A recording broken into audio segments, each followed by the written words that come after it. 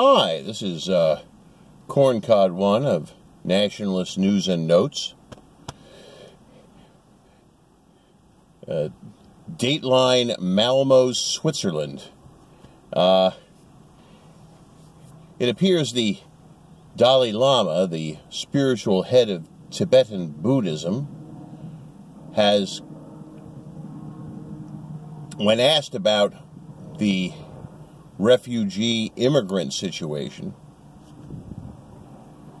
gave reporters the very common sense answer that refugees from foreign lands should be helped, they should be educated, and they should be returned back to their countries to rebuild their countries.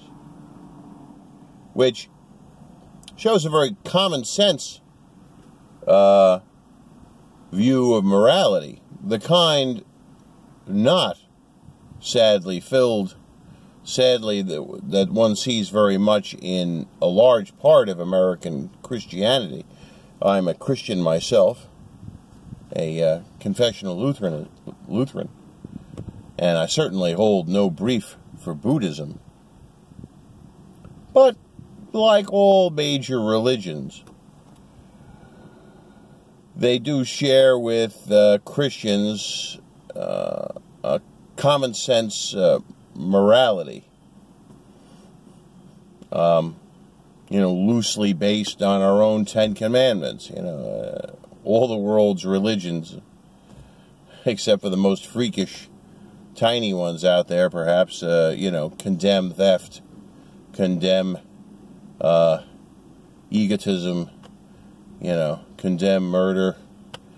They all have a, all the major religions have a common sense morality that may or may not uh, be observed in day to day life. But uh, the Dalai Lama uh, certainly makes a lot of sense. And I'm sure, and I've already heard some inklings of this, is that uh, a lot of his uh, followers here in the United States are pretty mad about them, uh, mad at him about this. It's kind of interesting because uh, you know most uh, Buddhists, Buddhism tends to be the kind of religion uh, taking up by uh, hipsters and hippies. that may not be true in the Far East, but it is true in the United States and Western Europe but his common sense view of morality, uh, in this instance, shows that uh, he's a clearer thinker in many ways than many than unfortunately many Christian leaders in the West. I've often said that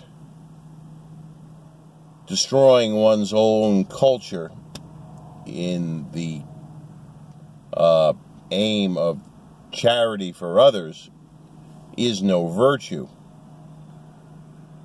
Because as the as the philosophers would say, uh, destroying yourself to help others is a supererogatory virtue, as the uh, ethical philosophers say. In other words, it's not required. We're not required to let everyone become to come to the United States or to Europe. We're not required to uh, destroy and displace our own culture. And uh, the Dalai Lama, uh, you know, intimated this uh, in his uh, in his response to the question in Malmo, Switzerland, Malmo, Sweden. Uh, and so, yes, be kind, show charity, but send the people back to their own countries when they where they can rebuild their own countries. You know, so many of these countries have been destroyed by the nonsense going on under the title of the Arab Spring, which was a a plot by the United States government, Western intelligence agencies, etc., to undermine Arab countries. And like most huge overweening projects, it was a failure. You know, was it smart to kill Gaddafi and destroy his government? No. Now Libya's a zone of chaos from which large numbers of immigrants come to come to come to Western Europe. And it's it's one of the things that caused the migrant crisis.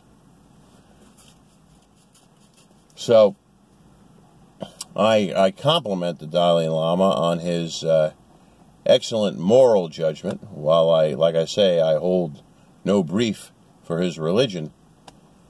Uh, it's funny. A few years ago, he was quoted, and I'm paraphrasing, it is moral that if someone shoots at you with his gun, you have a right to shoot back.